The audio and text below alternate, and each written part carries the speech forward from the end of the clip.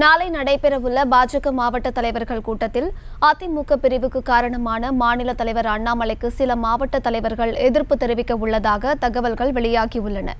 இதுகுறித்தான மேலும் விவரங்களை கொடுப்பதற்காக செய்தியாளர் காண்டிபன் இணைப்பில் இருக்கிறார். அவரிடம் பேசலாம். காண்டிபன் விவரங்கள்.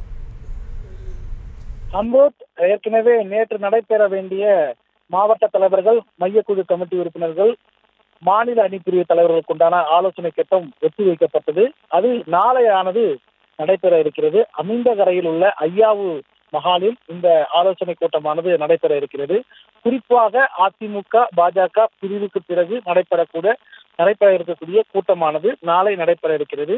இதில் அண்ணாமலை தலைமையில் தான் இந்த கூட்டமானது நடைபெற இருக்கிறது. குறிப்பாக இந்த கூட்டத்தில் என்னென்ன மாதிரியான பேச்சுக்கள் வர இருக்கிறது என்பது முன்கூட்டியே உளவுத்துறையானது சில தகவல்களை அஹ், சேகரித்துள்ளார்கள். அதன் அடிப்படையில அஹ், நாளை நடைபெறக்கூடிய அந்த ஆலோசனை கூட்டத்துல மாவட்ட தலைவர்கள் தரப்புல வந்து எதிர்ப்பு தெரிவிக்கிறதுக்கு ஒரு முடிவு பண்ணியிருக்கிறதா சொல்லி ஒரு தகவல் கிடைச்சிருக்கு. குறிப்பாக சில நாடாளுமன்ற தொகுதிகளில் பாஜக கூட்டணிக்கு கிடைக்கக்கூடிய அந்த நாடாளுமன்ற தொகுதிகள் வெற்றி வாய்ப்பு இருந்தும் தற்போது அதிமுக பிரிவினை காரணமாக அந்த தொகுதிகளில் வெற்றி வாய்ப்பை இழந்திருக்கிறதை சுட்டிக்காட்டி ஆஹ், இதற்கு காரணம் அண்ணாமலை பேச்சு என்கிற ஒரு விஷயத்தை வந்து சுட்டிக்காட்டி சுட்டிக்காட்டுவதற்காக மாவட்ட தலைவர்கள் தரப்புல முடிவு செய்திருக்காங்க. குறிப்பாக கொங்கு மண்டலத்தில் இருக்கக்கூடிய மாவட்ட தலைவர்கள் இந்த விஷயத்தை வந்து முன்னெடுத்து அண்ணாமலை மீது குற்றச்சாட்டு வைப்பதற்கு முடிவு செய்திருப்பதாக ஒரு தகவல் கிடைத்திருக்கிறது.